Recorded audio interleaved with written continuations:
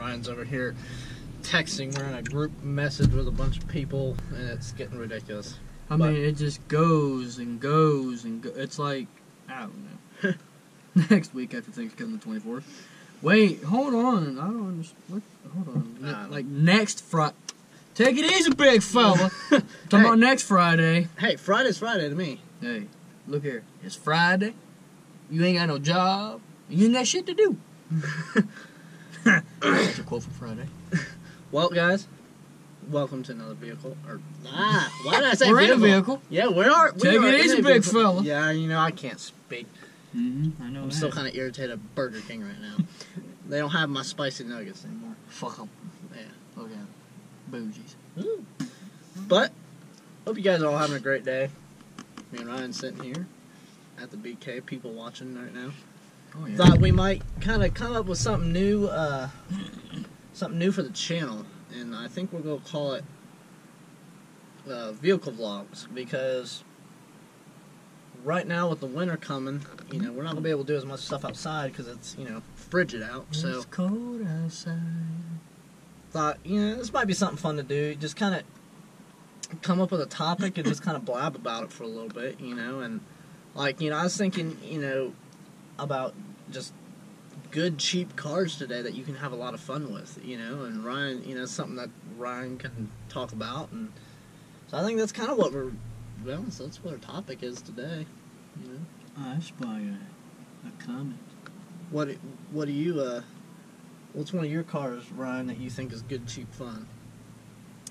I say an old S10. I think any old little truck, dude, it's just good fun. Because one, it's a truck. You can haul whatever you want, you know, like haul stuff in it. You can make it a sleeper. You make a sleeper, you know, you can off road it. You know, trucks are awesome. And, and to be honest, it don't matter. I mean, even if you just get like a really old, like a square body or something like that, I mean, that's all good, cheap cars that you can have a lot of fun with. And I mean, parts are easy to get on those things. Mm.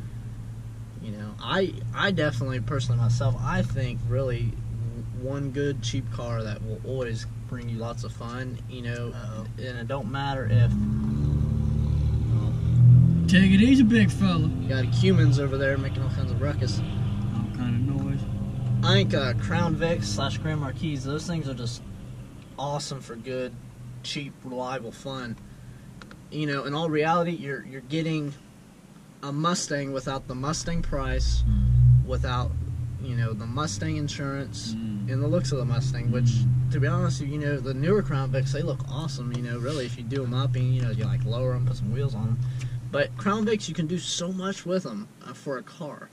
I mean, you can, you can tow with them, you can haul stuff, you can lift them, lower them, do whatever you want, and it's just the they're awesome for that. You know, and you can get them for reasonably, you know, price you know prices. But the main thing I think is just so cool about it is you're getting V8 real wheel drive. You don't get that hardly anywhere nowadays for anything.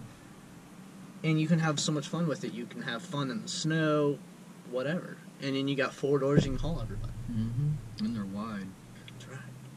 Pack a family, family, a bunch of Mexicans in there. You know, a lot of people, a lot of people get Hondas and stuff like that. But I don't. I mean, there's only so much fun I feel like you can really have with some of those Hondas because it's like, I feel like Hondas are too typical now. yeah, they are. They're just too. They're too mainstream. Not really mainstream, but it's just everybody's got them. Everybody got. You don't see much of Grand Marquis or anything like that just out and about. You, you just you just don't see that kind of stuff a lot. You know, like I mean, you just don't. I mean, you see them, but you just don't see them done up. Mm. That's what's nice about. You know, they're kind of starting to grow now. Um, they've kind of come into people's heads like, hey, that's something I can build because you, you can build up Grand Marquis because you, like I said, you got the same motor as a Mustang, you got the same rear end as a Mustang, the suspension's kind of the same. I mean, you can make a lot of stuff work to create a car that's like really, really cool. I mean, search up Evil Vic on YouTube. I mean, he's got 11 second, 11 second Crown Vic. I mean, that's crazy quick for that big of a boat of a car.